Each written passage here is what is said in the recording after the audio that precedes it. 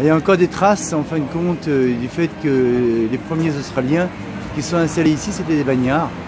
Donc on retrouve euh, le côté, le look prisonnier avec euh, le boulet. Et un peu plus loin, c'est un, comment dirais-je, un repas spécial, prison.